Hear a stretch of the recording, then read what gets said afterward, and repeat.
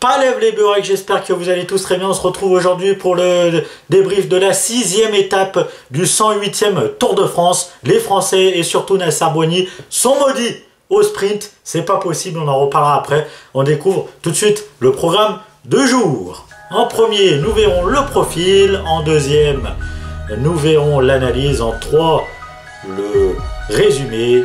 Et en quatre, les différents classements et porteurs de maillot. C'est parti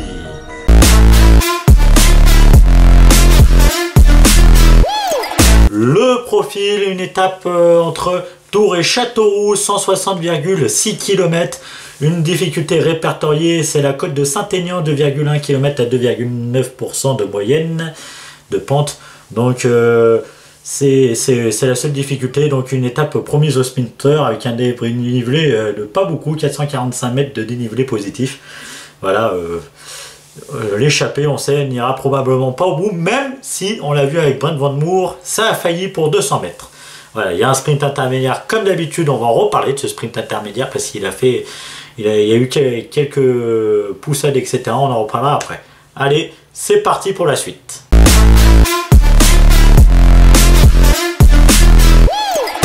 Donc euh, avant notre analyse, nous allons faire notre point historique comme chaque jour depuis trois jours, je crois, ça fait je que je vous propose. Donc trois arrivées et trois arrivées massifs à Châteauroux dans l'histoire. Euh, les deux dernières arrivées dans la préfecture de l'Indre ont terminé par une victoire de Marc Cavendish pour sa première victoire sur le Tour en 2008 et pour sa 17e victoire en 2011. Euh, et encore aujourd'hui une victoire de Marc Cavendish qui décidément adore Châteauroux.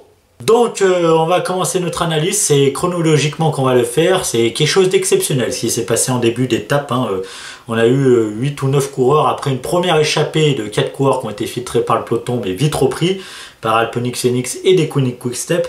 Kilomètre 4, on va voir ce que Jeans, Asgreen, Polit, Richtert, Van Mark, Craig Anderson, De Rent, Zimmerman qui vont s'extraire du peloton. Donc euh, il y a des équipes qui ont un sprinter qui ont mis quelqu'un devant dans l'échappée, comme euh, des Koenig et comme euh, Alpecin. Le problème, c'est que du coup, ces équipes ne veulent plus rouler à l'avant puisqu'ils ont un coureur en échappée. Donc si ça se termine pas au sprint, c'est pas grave, du moment qu'ils ont un coureur devant. Mais des Koenig, s'ils gagnent la bataille, l'échappée, des reprend le maillot jaune et il est pour Casper Asgreen. Mais euh, comme il y a un coureur d'Alpenic Phoenix, il décide dans l'échappée de ne pas relayer non plus. Donc c'est un peu bizarre ce qui s'est passé en début.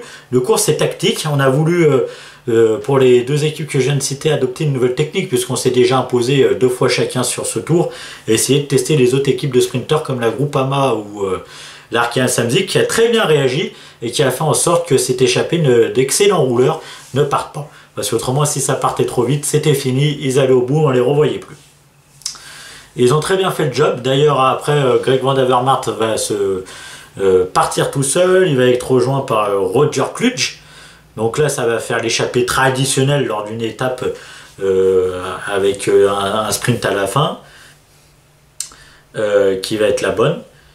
du coup, là, le peloton va être emmené par Alpecin Phoenix et des Koenig Quickstep. D'ailleurs, on voit le, diagramme que je vous ai mis. Hein. Les relais, euh, les, deux équipes qui prennent le plus de relais, c'est des Koenig et Alpecin 33 et 37. On a la Groupama avec 17 aussi et l'Arkea 9%, et les autres 4%. Donc c'est parce que, c'est quand c'est en début d'étape quand c'était un peu tout décousu. C'est pour ça que par exemple Groupama a, assez, un pourcentage assez haut. Euh, dans ce peloton, on va être organisé de cette façon-là. Donc euh, les équipes de sprinters à l'avant pour mener la poursuite. Et en deuxième rideau, les équipes euh, du classement général pour ne pas...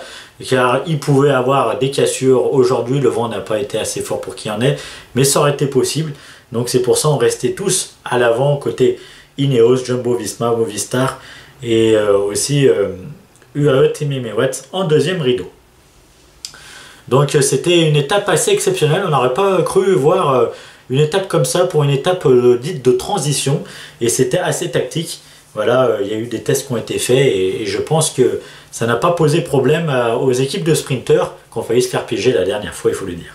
J'ai eu un petit peu peur dans le final que le peloton rentre trop vite sur l'échappée parce qu'on voyait à 50 bornes, il y avait plus que 40-50 secondes d'avance euh, pour le peloton et je me suis dit ils vont quand même pas rentrer trop vite. Il y avait le sprint intermédiaire euh, aussi où, c'est normal que le temps descende, puisque les sprinters veulent jouer, euh, essayent de se placer pour pouvoir gagner quelques points au, sprint intermédiaire. Mais voilà, j'ai eu un petit peu peur et que ça contre derrière. D'ailleurs, on voit bien ce graphique qui nous montre l'évolution du temps de l'échappée. maximum, je crois qu'elle a eu 2 minutes 33 l'échappée. Et on voit que ça a monté, puis ça a redescendu dans les derniers kilomètres, surtout au sprint intermédiaire. Donc c'est ce que je disais, j'ai eu peur qu'il y ait des contres après. Heureusement, il n'y en a pas eu. Mais, mais, voilà, une étape assez intéressante et demain on va encore plus s'amuser. L'étape la plus longue du Tour de France est une étape accidentée. On en reparlera demain. Euh, je voulais parler du sprint intermédiaire. Donc oui, ça s'est un peu bousculé. On a vu Nasser Boigny et Marc Cavendish se bousculer. Euh, je ne sais pas vraiment ce qui s'est passé, je vais essayer de lire des articles, etc. pour me renseigner. Euh, c'est quand même, voilà, euh, on sait que ça frotte entre sprinters, mais à ce point-là, à se pousser, à vraiment jouer des coudes, et il va falloir qu'il y ait une explication là-dessus. surtout que Mark Cavendish a déjà été a déjà été forfait à cause de ça et d'une blessure parce que ça avait trop joué de coude avec Peter Sayen. Donc même s'il y a des petits chambrages, etc., il vaudrait mieux pas parce que ça peut arriver des accidents. Voilà. On va essayer de s'en renseigner. Et puis, euh, on va dire, la France est maudite sur les sprints intermédiaires, les sprints finales. Nasser troisième lors de la troisième étape.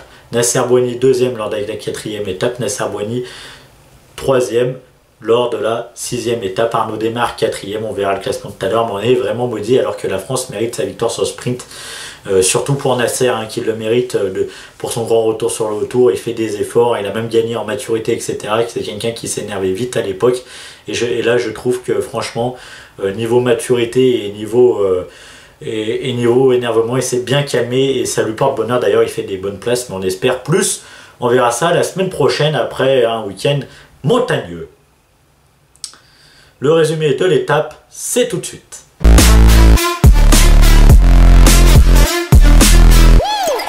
Donc, euh, kilomètre 4, Scott Jeans, Asgreen, Polit, Rickert, Van der Craig Anderson, De et Zimmerman s'extrait du poteau. Kilomètre 31, Greg, euh, Greg Van tente l'aventure seul, mais va être très vite rejoint par Roger Plutch. Kilomètre 158,1 à 2 km 5 de l'arrivée, l'échappée est reprise. Victoire à l'arrivée de Mark Cavendish pour sa 32e victoire sur le Tour, qui revient à deux longueurs du record d'Eddie Merckx.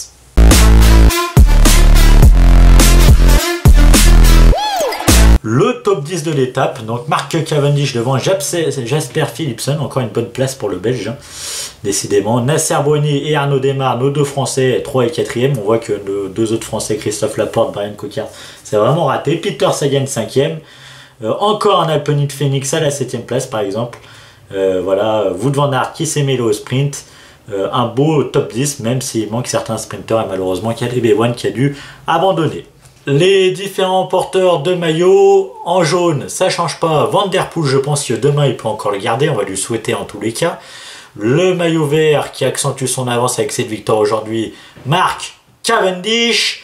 Le maillot à poids rouge de ces Hyde Chenning encore, je pense, jusqu'à demain. Peut-être que demain il le perdra, on sait pas, on verra bien. Euh, de toute manière, il était sûr de le garder parce qu'au pire, il fallait que Vanderpool aille dans l'échappée, mais il est maillot jaune. Ou alors que le peloton euh, ne laisse pas partir l'échappée et que euh, Van Der Poel prenne le point. Mais je pense pas que le maillot pro lui intéresse grandement. Et euh, le maillot blanc sur les épaules de Tadej Pogacar, la meilleure équipe, la Jumbo Visma, et le dossard rouge de la combativité en Targaz, Greg Van Avermaet, le Flandrien, ancien maillot jaune du Tour de France. Le top 10 du général, il ne change pas. Van Der Poel devant Pogacar et nos deux Français, 4 pour Alaphilippe et 6 pour la Tour. On espère qu'ils vont remonter.